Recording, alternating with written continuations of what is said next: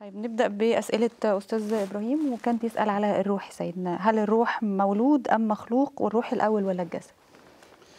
هو طبعا إحنا الكيان البشري كله مولود ومخلوق يعني أنا مولود من أب وأم مم.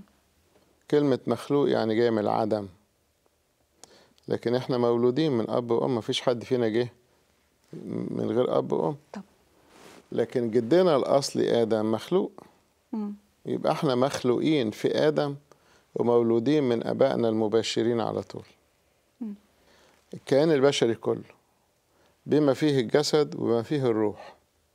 فما أقدرش أقول الروح مولود ومش مخلوق أو مخلوق مش مولود. هو الروح بتاعت الإنسان مع الكيان الإنساني. من إمتى بقى؟ من أول لحظة للإخصاب. يعني الخلية جاية من الأب.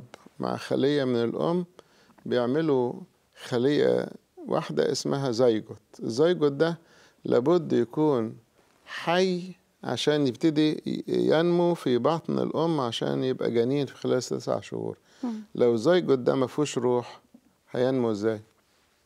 صحيح يبقى ميت مم.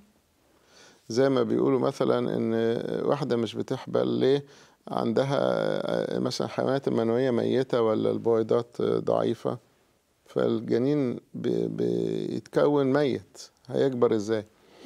فمن أول لحظة تكوين الزيجوت في جسم الأم بيبقى حي. حي معناه في روح. في ناس طبعا بيؤمنوا إن الروح بتدخل في الجنين بعد 40 يوم. لا. ده مش صح سيدنا. لا. من أول لحظة إخصاب. فاذا الجنين كائن حي فيه نفس وفيه جسد وفيه روح. وفيه عقل بس لسه بينمو بالتدريج.